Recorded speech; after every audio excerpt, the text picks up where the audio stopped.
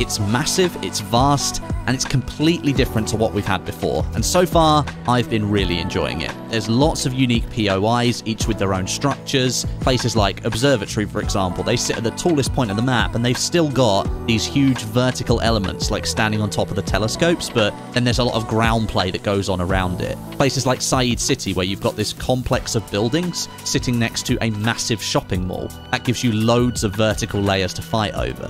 And then there's places like Hydroelectric near the center of the map that already seems to have become one of the hottest drops there. I also like that the map is more vivid and colourful than Verdansk was. Verdansk was very like grey, very bleak, this kind of Soviet landscape.